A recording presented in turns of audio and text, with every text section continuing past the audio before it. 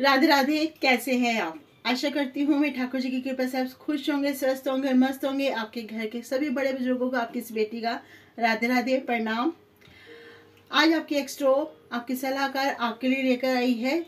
शनि के कुछ ऐसे उपाय, जिन जातकों को, शनि से पीड़ित हो रहे हैं, या शनि के ग्रह दशा सता रही है, या अंतरदशा सता रही है, या जो शनि महाराज हैं, उनकी कुंडली में, लगन में बैठे हैं, या उनको अशुभ प्रभाव दे रहे हैं, या उनकी दशा चल रही है, या ढैया चल रही है, या किसी तरह की भी उनको दुष्प्रभाव मिल रहे हैं शनि महाराज की ग्रहों की वजह से तो उनको क्या कुछ ऐसे उपाय करने चाहिए जिससे उनको शांति मिले और शनि महाराज की कृपा उन पर बरसती रहे?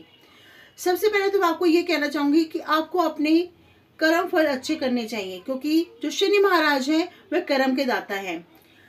क्योंकि वह हमेशा हमें, जब भी उस शनि की सारसती आती है, ढैया आती है या दशा आती है, वह हमें हमारे कर्मों के अनुसार ही फल देते हैं। अगर हमारे कर्म फल अच्छे हैं, हम मेहनती हैं, आलस्य नहीं करते तो वह हमें उचित परिणाम देकर जाते हैं, हमेशा हमें सही मार्ग दिखाते हैं। और वहाँ ऊंचाइयों तक पहुँचाती हैं, शायद जिसके लिए हमने कभी सोचा भी नहीं होता। तो चलिए, ऐसे कुछ खास उपाय जो आपको शनि की सारसक्ति ढैया या आप पर शनि की दशा चल रही है, उनसे आपको राहत दिला सकें। सबसे पहले करना क्या है आपको? आपको शनिवार के दिन और मंगलवार के दिन। जी हाँ सब जानते ही होंगे कि अगर आप हनुमान जी की उपासना करते हैं तो उससे भी आपको शनि महाराज की दशा से राहत मिलती है। चाहे वह ढैया हो चाहे सारसती हो चाहे शनि की अशुभ दृष्टि ही आप पर क्यों ना पड़ रही हो आपके ग्रहों पर तो उसमें भी आपको राहत मिलती है। तो करना क्या है आपको? शनिवार और मंगलवार के दिन हनुमान जी के मंदिर में जाकर आपको उनको सिंदूर का चोला चढ़ाना है और साथ ही साथ वहीं पर बैठ कर आपको हनुमान चालीसा जी का पाठ करना है संकट मोचन और हनुमान जी का पाठ करके उसके बाद आपको हनुमान जी को बूंदी के लड्डू का भोग लगाना है। वह प्रसाद आपको अपने घर में सब सदस्यों को बांट देना है और गरीबों को, कुछ प्रसाद गरीबों को भी बांट देना है।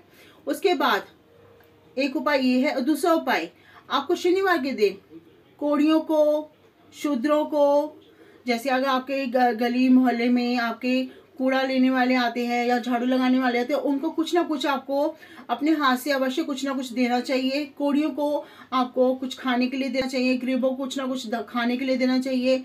अपने से नीचे काम करने वाले, अपने सहकर्मियों के साथ आपको मित्रतापूर्ण व्यवहार करना चाहिए। ये कुछ कहने को छोटे छोटे उपाय हैं, पर बहुत ही कारगर है। अगर आप इस तरह के अपने कर्म बनाते हैं, इस तरह की अपनी दिनचर्या बनाती हैं तो आपको शनि ग्रह से घबराने की आवश्यकता नहीं है। शनि ग्रह आपको अवश्य ही जाते आते आपको मन वांछित फल देकर जाएँगे और उन ऊंचाइयों तक आपको पहुँचा देंगे, जिन ऊंचाइयों के लिए शायद आपने सपने में भी नहीं सोचा होगा। और साथ ही साथ आपको निरंतर अपना हनुमान जी का जप करना चाहिए। अपना जिस भी इष्ट को आप मानते हैं, उन इष्ट की आपको आराधना करनी चाहिए। और शिव मंदिर में अगर आप जा सकते हैं तो शिव मंदिर में आप जाकर आपको शिव जी जी के आगे एक दीपक अवश्य जगाना चाहिए कंटिन्यू जब ये दिशा आपकी स्टार्ट हो जाए तब से लेकर आपको कंटिन्यू आपको संध्या वक्त, प्रदोष काल में आपको शिव मंदिर में जाके शिवलिंग के आगे आपको ये दीपक अवश्य जगाना चाहिए। उससे भी आपको शनि दिशा में राहत मिलती है। तो ये थे छोटे छोटे कुछ उपाय जो आपको राहत दिलाएँगे। इसी के साथ नेक्स्ट वीडियो में जल्द मुलाकात करूँगी। आपसे आज्ञा लेती हूँ। राधे राधे